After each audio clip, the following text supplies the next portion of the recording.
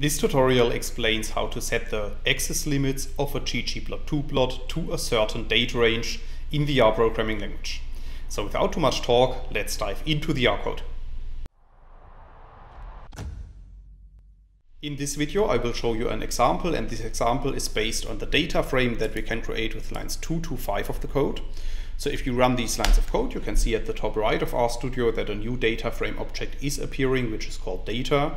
And if you click on this data frame, a new window is opened, which is showing the structure of our data frame. And as you can see, our data frame contains 10 rows and two columns, which are called X and Y. And the column X contains dates and the column Y contains numeric values. Now let's assume that we want to draw these data using the ggplot2 package. Then we also need to install and load the package as you can see in lines 7 and 8. I have installed the ggplot2 package already, so for that reason I'm just going to load it with line 8 of the code.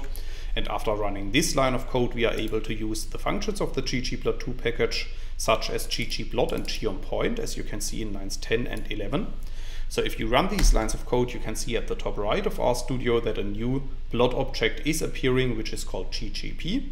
And we can draw this plot to the bottom right of RStudio using the code in line 12. So if you run this line of code, you can see at the bottom right that a new scatter plot has been created.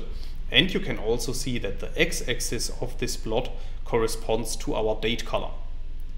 So let's assume that we want to set a certain axis limit based on a range of dates. Then we first need to install and load the scales package, as you can see in lines 14 and 15.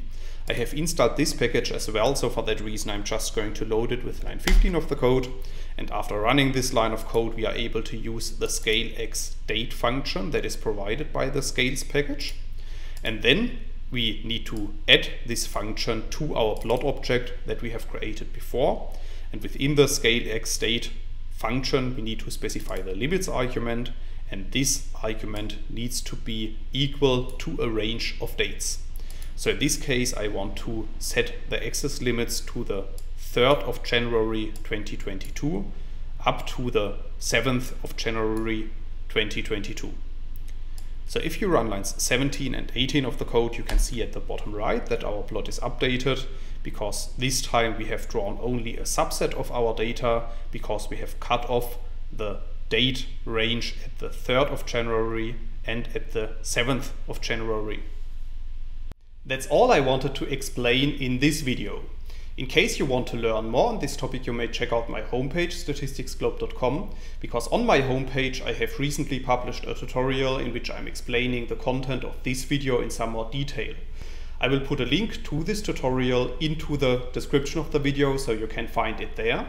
If you have liked this video or if you have any questions, let me know in the comments section below. I'll try to respond to all comments as soon as I can.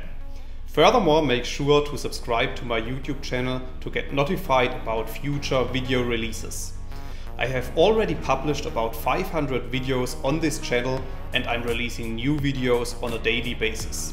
Thanks a lot for watching, see you in the next video.